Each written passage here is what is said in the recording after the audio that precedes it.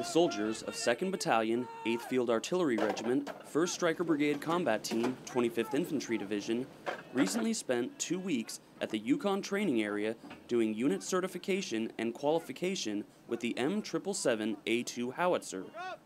Uh, the last two weeks we've been training to conduct section certification and qualification.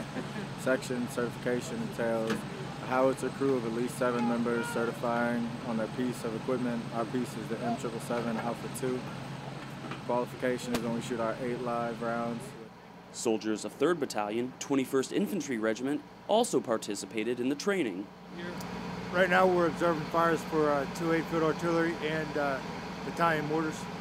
Uh, let's get some training for uh, the guns, they get their certifications, and uh, get some great training for my uh, soldiers as well. The training provided a valuable learning experience to the soldiers of both 2-8 Field Artillery and 321 Infantry. I think it's going excellent. Uh, you know, this is the first time this battalion has been out in the field as a battalion since they redeployed from Afghanistan, and especially in the capacity to of shooting as an artillery battalion. And we've been able to test how the howitzer and the soldiers and their equipment have handled.